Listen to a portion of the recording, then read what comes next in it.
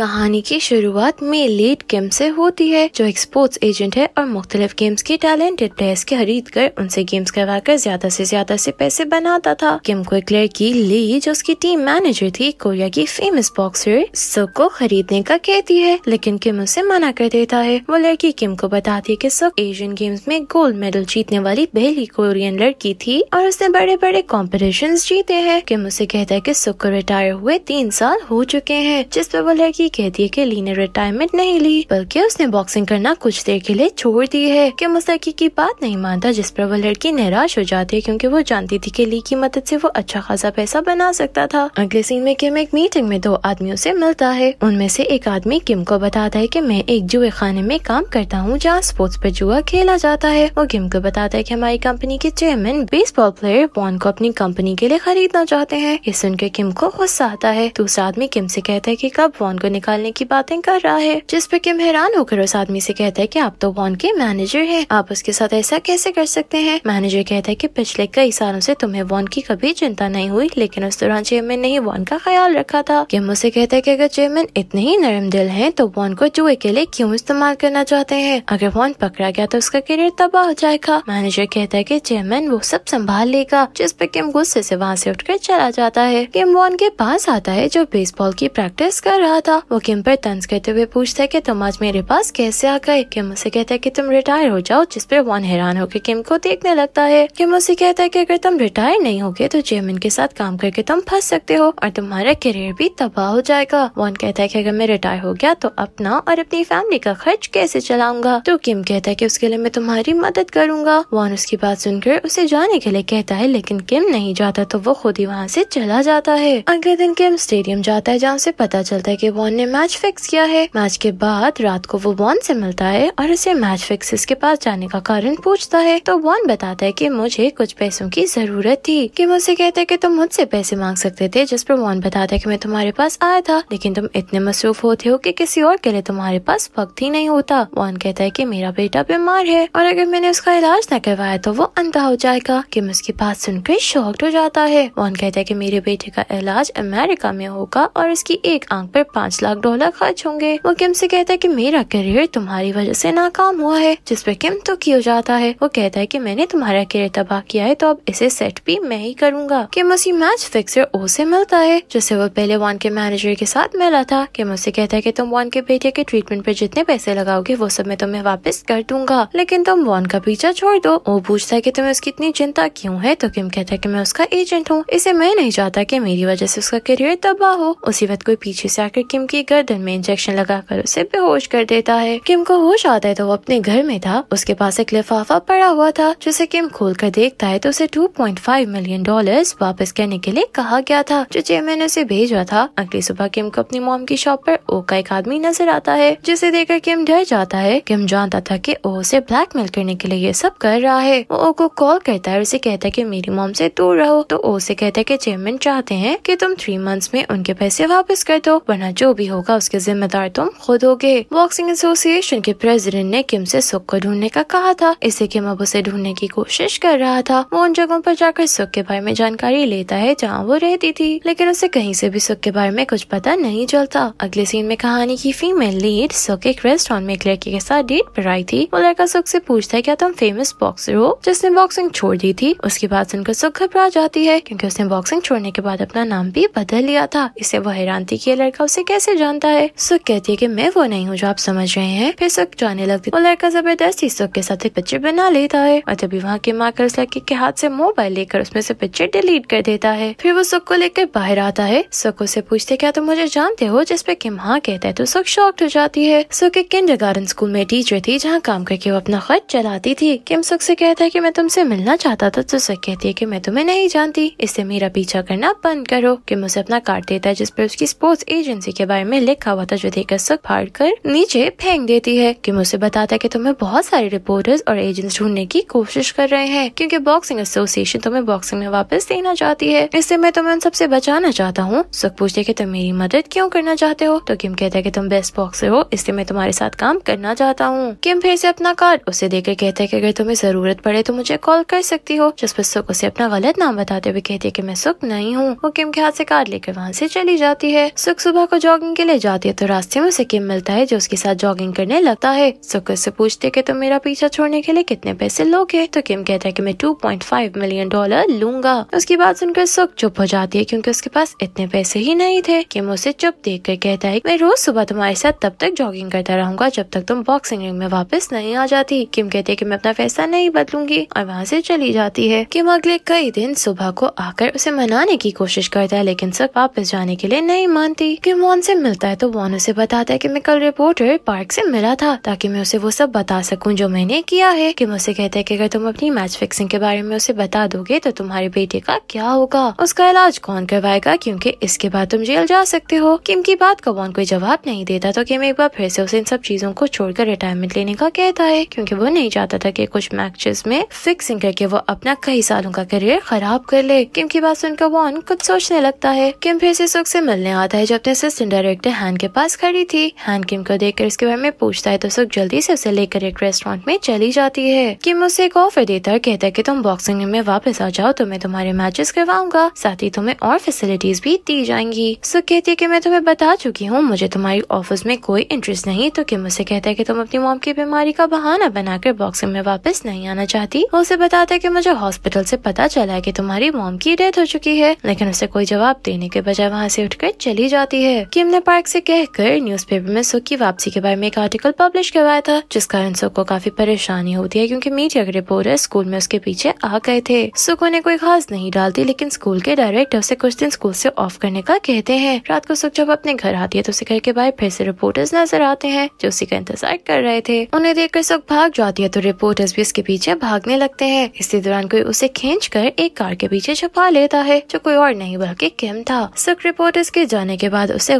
से कहती है कि तुमने मुझे इस मुसीबत में फंसाया है। किम कहता है कि तुम एक बार रिंग में वापस आ जाओ तो मैं हर तरह से तुम्हें सपोर्ट करूँगा। सुख कहती है कि मैं अपना जवाब तुम्हें पहले ही बता चुकी हूँ, जिस पे किम कहता है कि कल मेरी जगह कोई और आकर तुम्हें रिंग में वापस जाने के लिए मजबूर करेगा। सुख उसकी बात का जवाब दिए बिना वहाँ से जाने लगती है। तो किम उसे पकड़ कर रोक लेता है जिसपे सुख उसके मुँह पर जोरदार पंच मारती है, जिस कारण किम बेहोश होकर नीचे गिर जाता है। किम पुलिस में सुख के खिलाफ रिपोर्ट लिखवाता है की उसने मुझे पंच मारकर मेरा जबड़ा तोड़ दिया है। अब किम और सुख दोनों पुलिस स्टेशन बैठे थे, जहाँ एक ऑफिसर किम से पूछता है, क्या तुम सुख के साथ कोर्ट में जाए बगैर सेटलमेंट करना चाहते हो? तो किम मना कर देता है। किम अपना जबड़ा टूटने का ड्रामा कर रहा था, ताकि वो सुख को वापस ला सके। ऑफिसर सुख से कहता है कि अगर आप दोनों की बात सेटल नहीं होती तो आपको कोर्ट जाना पड़ेगा। इसी दौरान वहाँ पार्क भी आ जाता है, जो किम के ड्रामे में उसके साथ देते हुए सुख को बातें सुनाता है। वो सुख से कहता है की तुम जैसी प्रोफेशनल प्लेयर को किम जैसे नाजुक लड़के को पंच नहीं मारना चाहिए था, लेकिन उसकी बातों का भी सुख पर कोई असर नहीं होता, और वो वहाँ से चली जाती है। उसके जाने के बाद पार्क किम को बताता है कि क्लब वाले जल्द ही वॉन को क्लब से निकाल देंगे, जो सुनकर किम गुस्से से अपने जबड़े पर लगी पट्टी उतार कर फेंक देता है। सुख तेज बारिश में भाग रही थी, जब अचानक उसके पास किम आता है, जो एक बार फिर से उसे मनाने की कोशिश करता है। सुख उसे कहती है की मैं जानती हूँ, तुम्हें पैसों की ज़रूरत है, इसे तुम मुझे वापस ले जाना चाहते हो। तो किम कहता है की तुम भी मेरा फ़ायदा उठाकर मुझे इस्तेमाल कर सकती हो। उसे कहता है की तुम जब चाहोगी, मैं बॉक्सिंग छोड़ने में तुम्हारी मदद करूँगा। सुख उसे कहती है की तुम मेरे बारे में कुछ नहीं जानते कि मैंने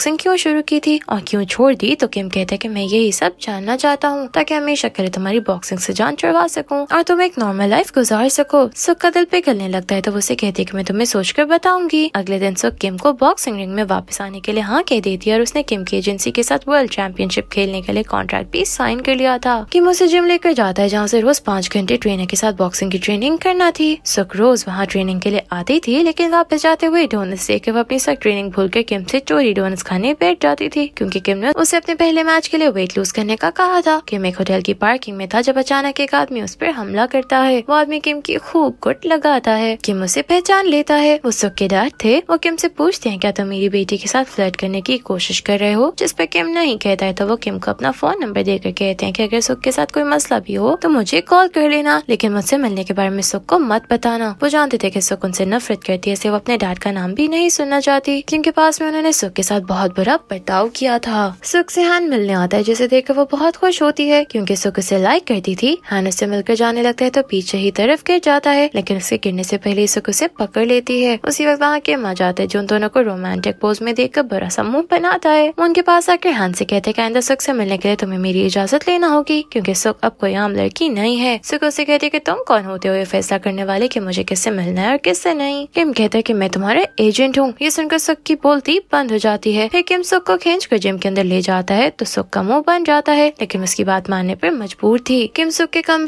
मैच में उसके साथ खेलने के लिए बॉक्सर ढूंढ रहा था। इसे वो एक बॉक्सर से मिलने जाता है जो एक रेस्टोरेंट में जॉब करती थी। किम उसे कहता है की मैं चाहता हूँ तुम सुख के साथ उसके कम मैच में खेलो, लेकिन वो लड़की मना कर देती है। क्यूँकी तीन साल पहले जब उसका सुख के साथ मैच होने वाला था तो सुख अचानक से गायब हो गई थी। कि मुझसे कहते कि मैं तुम्हें ये मैच खेलने के इतने पैसे दूँगा जितने तुम एक मैच से भी नहीं बना सकती। जिस पर वो लड़की कहती कि अगर सुख खुद भी आकर मुझे खुद के साथ मैच खेलने का कहे तब भी मैं नहीं खेलूँगी। ओ, किम को मिलने के लिए बुलाता है और इसे पूछता है की सुख अपना कम मैच किसके साथ खेलने वाली है? ओ, सुख के कम मैच पे पैसे लगा के मैच फिक्स करवाना चाहता था, क्योंकि सुख कोरिया की नंबर वन बॉक्सर थी, जिस पर जुआ खेलने वाले ज़्यादा से ज़्यादा पैसा लगाने के लिए तैयार थे। कि मुझे कहते कि मैं तुम्हारे किसी भी धंधे में तुम्हारा साथ नहीं दूँगा। तो वो कहता है कि तुम कोरिया की बेस्ट बॉक्सर को एक मैच खिलाकर उसे पैसे बनाकर उसे रिटायर करने वाले हो, लेकिन तुम मेरे साथ मैच फिक्सिंग का काम नहीं कर सकते। कि मुझसे कहते हैं कि वो खुद रिटायर होना चाहती है, इसलिए मैं उसकी सिर्फ़ मदद कर रहा हूँ जिसपे वो कहता है कि तुम वॉन के साथ भी पहले यही कर चुके हो। किम कहता है कि मैं दोबारा वही गलती नहीं करूँगा। किम जिम जाता है। जहाँ तक प्रैक्टिस करने से ज़्यादा अपने मोबाइल पे फोकस कर रही थी जिसपे हैन के मैसेजेस आ रहे थे। किम उसे कहता है कि तुम्हें अपनी प्रैक्टिस पे फोकस करना चाहिए। तो सब बॉक्सिंग रिंग से बाहर आ जाती है और एक बार फिर से अपना मोबाइल इस्तेमाल करने लगती है। कि मैं उसका मोबाइल उठा लेता है उसे कहते हैं कि जैसा मैं कह रहा हूँ वैसा करो, वरना मुझे 2.5 मिलियन डॉलर्स की पेनल्टी देकर छोड़ जाओ, क्योंकि कॉन्ट्रैक्ट तुमने साइन किया था। सुख पर उसकी बातों का कोई असर नहीं होता। उसे कहते कि तुम मेरे साथ बिल्कुल मेरे डैड की तरह बिहेव कर रहे हो। और गुस्से में वहाँ से चली जाती है। किम को सुख के डैड की कॉल आती है, जो उसे सुख के बारे में पूछता है। सुख के डैड ने किम से कहा था की सुख जो भी करती है, तुम मुझे उस बारे में बताओगे कि। मुझे बताता है की सुख एक लड़की को लाइक करती है जिसपे वो अपनी ट्रेनिंग से ज़्यादा फोकस करती है। ये सुनकर सुख के डैड किम के साथ हैन के स्कूल पहुँच जाते हैं। जहाँ हैन को देखते ही कार से बाहर निकलने लगते हैं तो किम बहुत मुश्किल से उन्हें रोकता है। फिर वो दोनों हैन का पीछा करते हैं, जो सुख से मिलने जिम जाता है। कुछ देर बाद जिम के भाई सुख उससे मिलने आती है उसे कुछ देर बात करने के बाद हैन उसे हक कर लेता है। ये देखकर सुख के डैड के गुस्सा आता है तो सुख के अंदर जाने के बाद वो कार से बाहर आकर हैन को पंच मारते हैं, क्योंकि वो एक बॉक्सर थे। किम सुख के साथ कम मैच खेलने के लिए बॉक्सर को मना लेता है, लेकिन उसे सुख से ज़्यादा पैसे चाहिए थे। बॉक्सिंग रिंग में जाने से पहले सुख किम को बताती है की मुझे बॉक्सिंग से डर लगता है, लेकिन मैं आज का मैच ज़रूर जीतूँगी। मैच शुरू होता है तो पहले राउंड में सुख की ओपोनेंट उसे खूब पंचेस मारती है। दूसरे राउंड में सुख खुद को संभाल लेती है और कुछ ही साउंड में अपने फ़ेमस स्टाइल पंचेस मार कर उसे ढेर कर देती है और सुख ये मैच जीत जाती है। मैच के बाद किम उसे एक रेस्टोरेंट ले जाता है, जहाँ वो सुख से बॉक्सिंग से डर लगने का कारण पूछता है। सुख को एक फ्लैशबैक याद आता है, जिसमें वो अपने एक दोस्त के साथ जब में बॉक्सिंग की प्रैक्टिस कर रही थी। उन दोनों को बॉक्सिंग सुख के डैड करवाते थे, लेकिन आज उसके डैड नहीं थे। इसलिए उन दोनों ने बॉक्सिंग शुरू की, जिसमें सुख की दोस्त उसे पंचेस मार रही थी। सुख को लगा कि अगर ये ऐसे उसे मारती रही तो वो मर जाएगी। इसे सुख ने उसके सर पर एक पंच मारा, जो सर के बजाय उसके कान पर लगा, और वो बेहोश हो गई। सीन में प्रेजेंट में शिफ्ट होता है, जहाँ सुख किम को इस बारे में बताती है कि मैंने उसका एक कान डैमेज कर दिया, जिस कारण वो सुन नहीं सकती। इस इंजरी की वजह से उसने बॉक्सिंग भी छोड़ दी थी। किम उसे कहते कि, तुम्हारा कसूर नहीं तो सुख कहते कि ये मेरी वजह से हुआ था। क्योंकि मेरे डैड ने मुझे एक राक्षस बना दिया था। वो कहते कि मेरे डैड मुझे जानवरों की तरह मारते थे ताकि मैं ट्रेनिंग करती रहूँ। मैं अपनी मॉम की वजह से बॉक्सिंग करती थी क्योंकि अगर मैं बॉक्सिंग छोड़ देती तो मेरे डैड मेरी मॉम को मारते। वो बताते कि मेरे मॉम की डेथ के बाद बॉक्सिंग छोड़ दी क्योंकि मुझे बॉक्सिंग से नफरत हो गई थी। रात को सुख किम के साथ अपने डैड के रेस्टोरेंट आती है, जहाँ से किम उसे बहाने से ले जाने की कोशिश करता है। लेकिन वो नहीं मानती। सुख उससे बताती कि मेरे डैड का रेस्टोरेंट है, जिस पर किम हैरान होने की एक्टिंग करता है। फिर उसके रात सुख के लिए सूप लेकर आते हैं और किम को बाहर मिलने के लिए बुलाते हैं। किम सुख से झूठ बोलकर बाहर आता है जहाँ सुख के डैड से पूछते हैं, क्या तुमने सुख को बताया कि मैंने हैंड को मारा था? जिस पर वो मना करता है। तभी वहाँ सुख आती है, जो उन दोनों को एक साथ देखकर किम से कहती है कि, तुम कब से मेरे डैड के और पर काम कर रहे हो? तो किम डर जाता है, क्योंकि सुख उसे पंच भी मार सकती थी, जो उसकी सेहत बर्दाश्त नहीं कर सकती थी। अपने डैड को वहाँ से भेजकर सुख उसे कहती है कि, मेरे डैड के साथ मिलकर मुझे धोखा देने की कोशिश मत करना। अगले दिन सुख हैन के साथ बीच पर कैंपिंग के लिए जाती है तो किम और सुख के डैड भी उनका पीछा करते हुए बीच पर पहुँच जाते हैं। सुख को उन्हें देखकर गुस्सा आता है, क्योंकि वो हैन के साथ अकेले टाइम स्पेंड करना चाहती थी, लेकिन उन दोनों ने आकर रंग में भंग डाल दिया था। सुख के डैड हैन से अपना इंट्रोडक्शन करवाते हैं तो वो उन्हें सुख के डैड होने की वजह से स्पेशल ट्रीट करने लगता है और उन्हें अपने साथ ही कैंपिंग के लिए कहता है। कुछ देर बाद किम और हैन कुछ लेने के लिए जाते हैं तो सुख अपने डैड से पूछते की आप मेरा पीछा क्यूँ कर रहे हैं? डैड उसकी बात इग्नोर करते हुए कहते हैं कि स्पोर्ट्स इंडस्ट्री में बहुत गंदे लोग बैठे हैं, जो तुम्हें इस्तेमाल करके फेंक देंगे और तुम्हारी लाइफ बर्बाद हो जाएगी। सुख कहते कि मेरी लाइफ सबसे पहले आपने बर्बाद की थी। इससे अब मेरी लाइफ में दखल देना छोड़ दें। सुख जिम में थी जब एक लड़की आकर उसे थप्पड़ मारती है। ये वही बॉक्सर थी जिससे कि हमने सुख के साथ मैच खेलने का कहा था। वो सुख से कहते की तुम्हारे एजेंट ने मेरा डिफेंस मैच कैंसिल करवा दिया ताकि तुम्हारा मैच हो सके। मैं तुम्हारी वजह से मैं दूसरी बार टाइटल जीतने में नाकाम हुई हूँ। तीन साल पहले भी तुम टाइल मैच छोड़कर भाग गई थी। सुख उसे कोई जवाब नहीं देती क्योंकि वो आग की नाकामी का जिम्मेदार खुद को समझ रही थी। रात को किम घर आता है तो सुख से कहती है कि मैं आग के साथ मैच खेलना चाहती हूँ। अगले दिन सुख बीच पे अपने ट्रेनर चोय के साथ किम का इंतज़ार कर रही थी। सुख से पूछती है, किम को सब इतना बुरा कहते हैं, लेकिन तुम अभी तक उसके साथ कैसे काम कर रहे हो? तो चोय बताता है की किम बस देखने में ही बुरा है। वो कहता है की किम ने न सिर्फ़ मेरे डैड का कर्ज चुकाने में उनकी मदद की, बल्कि मुझे बॉक्सिंग स्टूडियो भी बना कर दिया। ये सुनकर सुख हैरान होती है, क्यूँकी उसे किम सेल्फिश लगता था, जो सिर्फ़ अपना फ़ायदा सोचता था। कुछ देर बाद किम आता है तो सुख उसे कहते की एक मैच और खेलने के बाद मैं रिटायर हो जाऊँगी। किम उसकी बात सुनकर चुप हो जाता है, क्योंकि वो नहीं चाहता था कि सुख अभी